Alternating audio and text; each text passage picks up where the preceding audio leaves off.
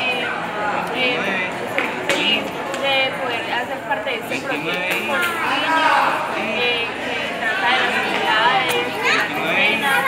Eh, es muy bueno porque podemos crear vínculos con ellos de amistad, aprendemos cosas que tal vez ya se nos habían olvidado.